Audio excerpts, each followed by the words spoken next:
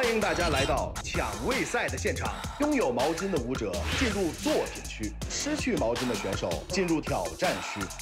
这一场只有四十九个晋级席位，有一半的人将被即刻淘汰。作品区的选手将根据抽签顺序依次展示作品。Oh my god！帅帅帅！怎么抠啊这些？今天是看表现的一天，就像闪电一样，完美，享受，太厉害了。四票直接晋级。这咋考啊？不是不是咋考，就是一个一个都是四票过。四票全通过，四票全通过，那你对下面的人来说，这压力也挺大的。一个一个毛巾就是又回到了上位区。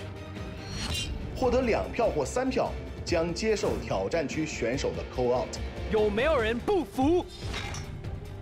哦，哇，有人！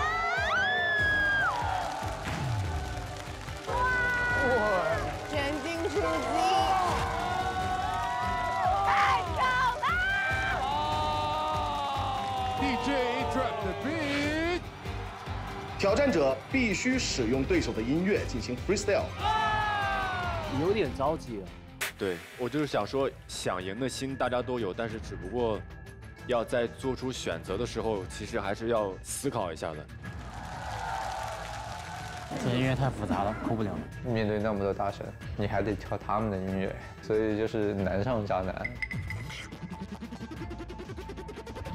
自己的声音你怎么 call 嘛？call out 我不怕，但是最怕的就是他这个赛事是跳别人的音乐，这个有点可怕。这个完全是耍赖，你这是同归于尽的音乐。有谁不服？我服了，我服了，我服了。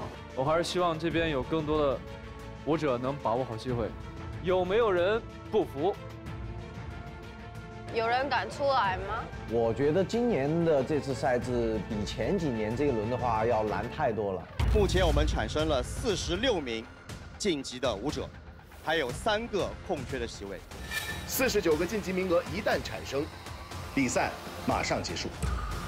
三个名额，哎，再来嘛。回家了噻，张嘛。而作品区选手除了零票会被淘汰以外，只获得一票，也会被直接淘汰。